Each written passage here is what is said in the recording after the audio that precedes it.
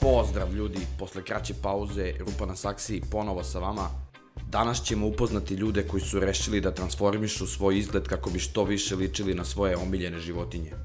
Šta da vam kažem, svako ima pravo da živi svoj život kako hoće, ali ukoliko vam sada prolazi kroz glavu da biste trebali da postanete mačka, preporučujem vam da ostanete do kraja videoklipa. Ja mogu da vam kažem da već godinama radim transformaciju u gorilu, ali o tome ćemo nekom drugom prilikom. Pa da krenemo. Tom Woodbridge, ili Tom Leopard, kako on voli da ga ljudi zovu, je jedno vreme držao Guinnessov rekord za najistetoviranijeg čoveka na svetu. Postao je poznat širom sveta kada je potrošio oko 10.000 dolara na operacije koje su mu omogućile da liči na leoparda. A onda mu je, kao i svakoj mački, sva ta pažnja dosadila i on se 1987. godine preselio na izolovano ostrvo na severu Škotske gde i dan danas živi.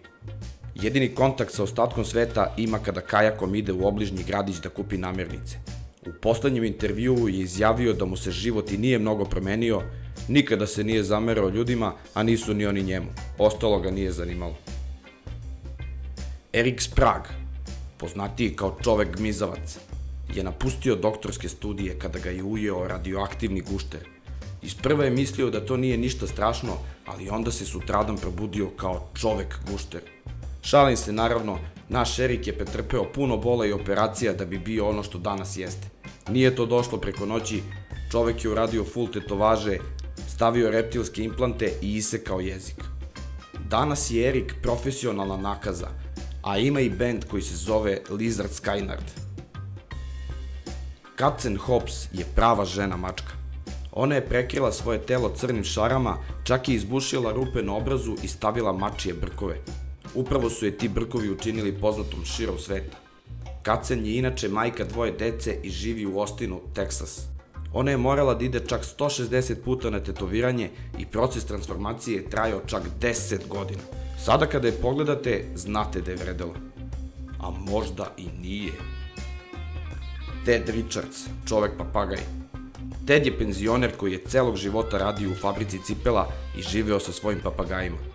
Kada je završio sa radnim vekom, rešio je da postane deo njihovog jata. Jedino što je trebao da uradi je da iseče uši, ubaci par potkožnih implanata, istetovira oči i pola tela.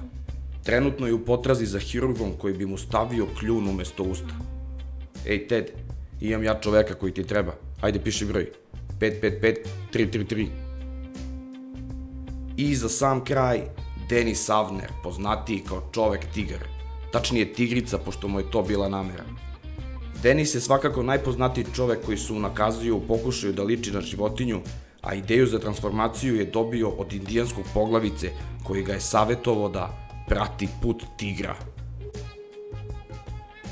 To bi bilo to što se tiče ovog klipa, nadam se da ste uživali, lupite like ukoliko jeste, a ukoliko ste prvi put na mom kanalu i ostali ste do samog kraja, definitivno lupite subscribe.